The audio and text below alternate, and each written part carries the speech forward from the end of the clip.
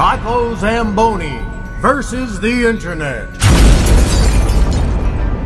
Hey, it's me, Rocco.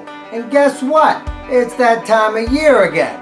When the air gets cooler, the leaves start falling to the death. Oh!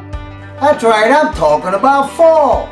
Or autumn, if you want to be a douchebag. So, what's the best thing to do in the fall? Pick pumpkins, of course. And where's the best place to pick pumpkins?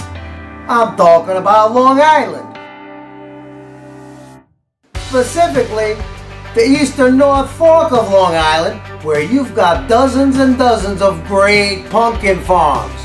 Now, I know you're saying, well, how do I find them?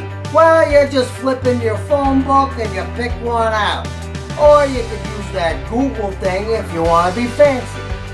Some of my favorite places over the years have been uh, Bakowitz Farm, you got Windy Acres, you got Harbs, of course, Stakey's is where I went this year, and look, you can see some cool pumpkins out in that pumpkin patch. They're just sitting there waiting for someone to pick them.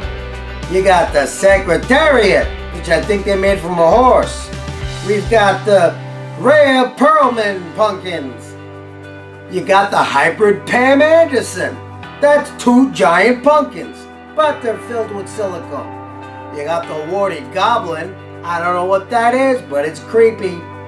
We've got Mrs. Wrinkles. and then you got the lunch lady, which I'm not quite sure what it is, but when you pick it, it's got a cigarette and it hisses at you. Hey, look at these. Check out that one. This one's my favorite. I'm not quite sure what the hell that is, but it's hilarious. So all these pumpkin farms are starting to get a little crazy now because they know the pumpkins aren't just going to draw you in. So they got corn mazes, they got rides, they got some hay rides, and all this other stuff to say, give me your money, come have some fun, and you're going to leave a happy person. And it's true, you do. Alright? So, come on out to Eastern Long Island.